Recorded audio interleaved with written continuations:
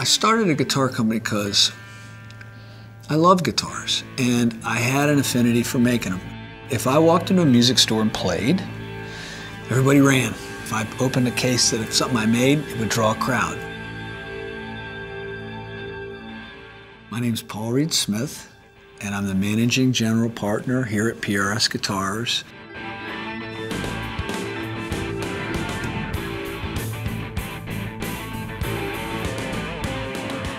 I see technology as tools. I think technology mixes with this kind of craft extraordinarily well. Um, we can draw a neck in 3D and look in every, any dimension inside a computer now, and it came originally from what I hand carved, but now it's in a computer model and we can play with it. If I want to make it two 30 seconds thinner front to back and keep the general carve that I did by hand 10 years ago, no problem. If we want to draw something that's, you know, half a thou, we can do it. It all works. So for us, SolidWorks is core technology for this business.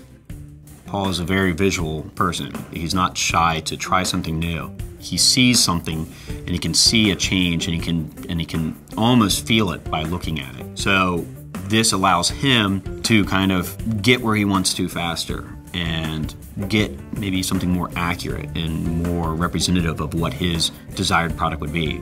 SolidWorks is a huge communication tool. I can't tell you how many times I've been to John's desk and said, take a screenshot, email it now. it's just fun. And he, he gets a hit out of it, I get a hit out of it, and then the, the artist looks at it and goes, cool.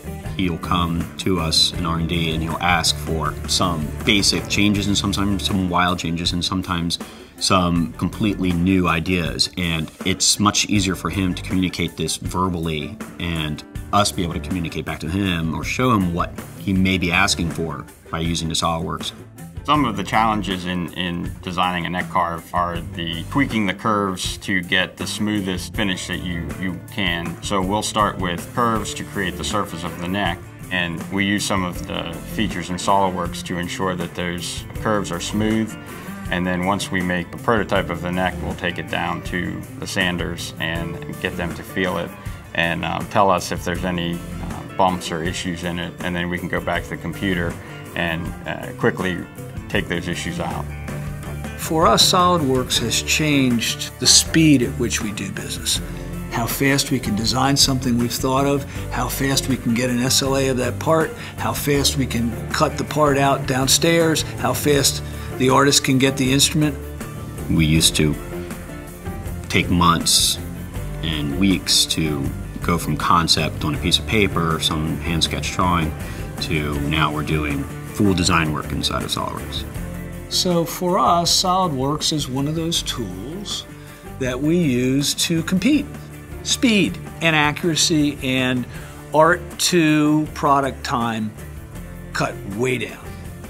There are some proprietary ways which we draw guitars that are not in your video because we're not going to show our competition how we've used, figured out how to use your tool. Sorry. I mean, we're smiling and looking, yeah, we're looking. There's a few things aren't on the camera because we figured out how to use this program in ways that are so powerful we don't want to show anybody. And that's for your customers to figure out how to use the program in a new way. Seeing someone's excitement when they get their hands on something that they just couldn't put down. That is something that motivates us to just keep going. We want someone to pick it up and to fall in love with it instantly. And so knowing that we're a part of that is great and that there's a little bit of everybody here at PRS in that instrument. There's a consistency that's brought with these new technologies that I really, really like. So SolidWorks is a piece of that train. Works. I mean, in the end, does, isn't that what you want? A tool that works, that does a job that you can do new things with that you never imagined? Isn't that what you want? I think so.